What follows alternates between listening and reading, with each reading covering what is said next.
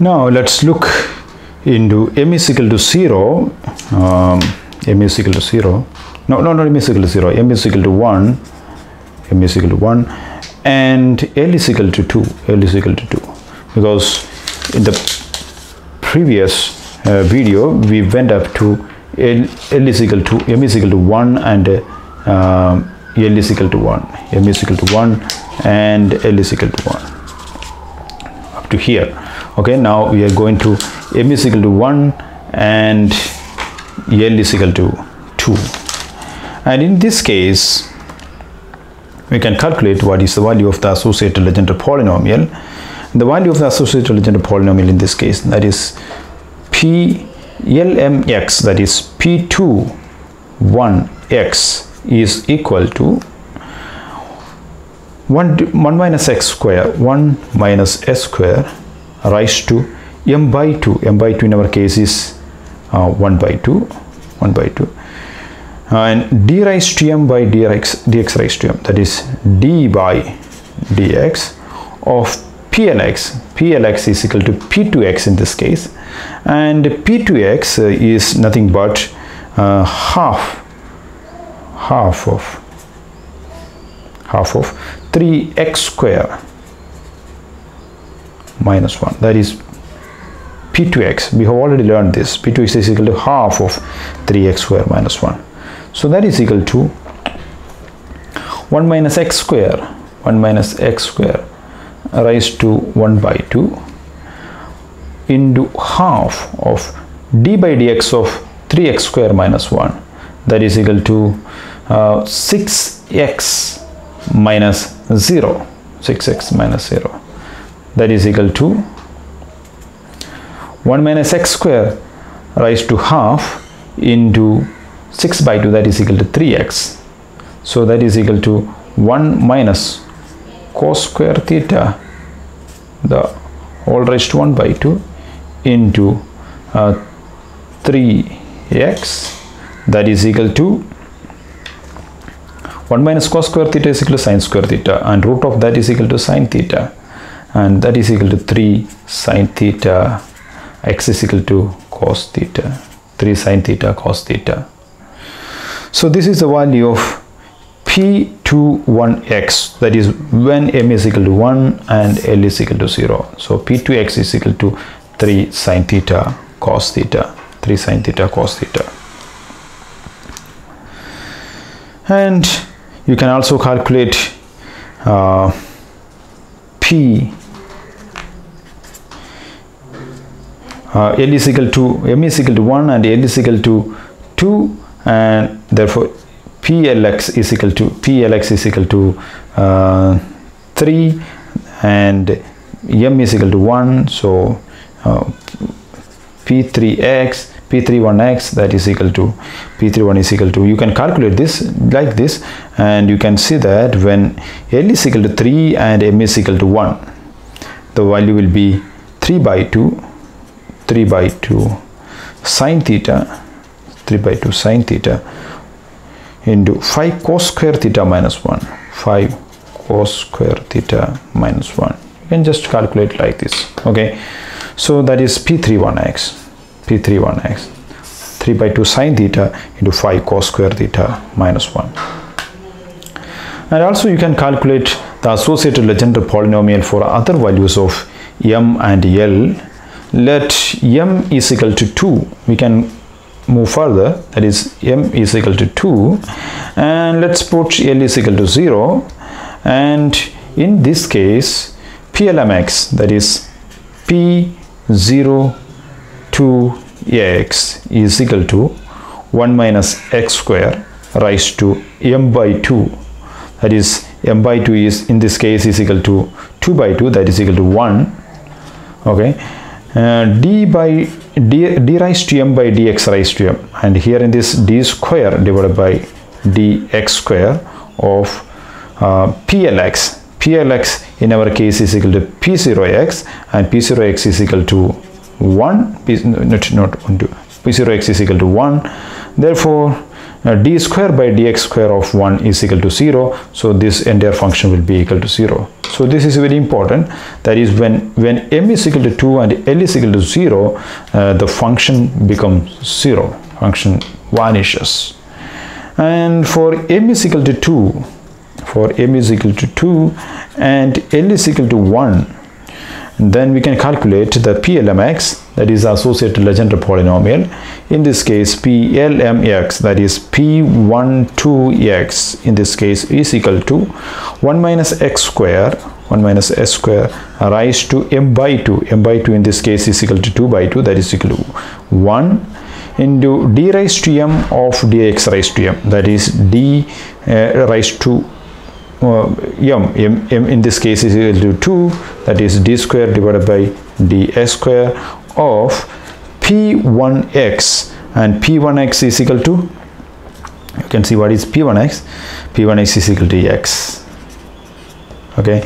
So d square by dx square of x is equal to 0 because d by dx of x is equal to 1 and again if we are differentiating 1 then we will get 0 so for this term will be 0 so the entire term will be 0 this is also very important. That is when m is equal to 2 and l is equal to 1 the function vanishes. Function will be 0 and you can calculate the value of, of associated Legendre polynomial for m is equal to 2 and L is equal to 2 L is equal to 2 and we can calculate this. Then in that case the PLMX PLMX L is equal to 2 in this case and M is equal to 2 in this case.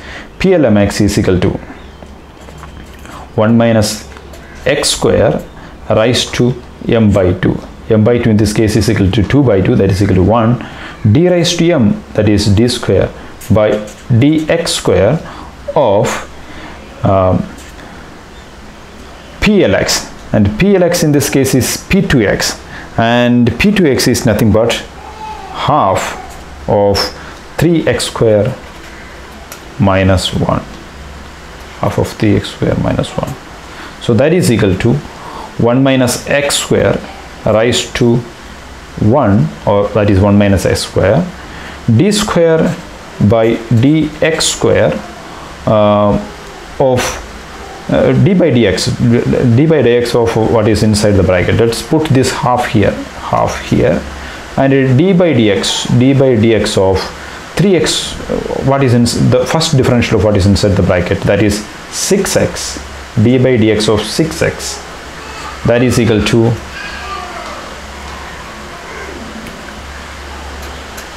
half into 1 minus x square into d by dx of 6x that is equal to 6 that is 6 by 2 that is equal to 3 into 1 minus x square. 1 minus x square is nothing but 1 minus cos square theta.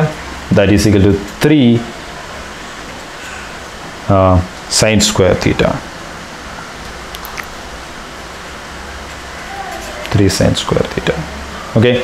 That's the value of uh, PLMX when m is equal to 2 and l is equal to 2 like that you can calculate the value of uh, PLMX when m is equal to 2 and l is equal to 3 when m is equal to 2 and l is equal to 3 you can see that the PLMX in this case PLMX is equal to p3 2x is equal to uh, 15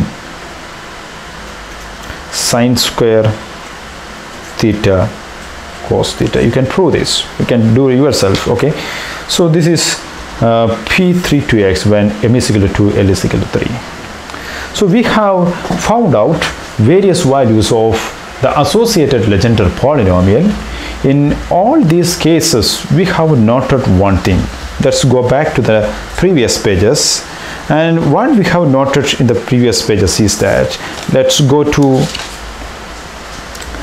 L is equal to M is equal to 0 L is equal to 0 in all these cases we have a definite PLX values so we are not worried about that but when M is equal to 1 and L is equal to 0 this special case that is M is equal to 1 let me highlight this with another ink. Okay that is let me take another ink. Uh, let's take pink yeah. That is when m is equal to 1 and l is equal to 0 in that case um, the associated Legendre polynomial is 0 means that the wave function vanishes. Okay wave function is 0 and when L is equal to 1 in that case that is when M is equal to 1 and M is equal to 1 L is equal to 1 and M is equal to 1 that is the next page.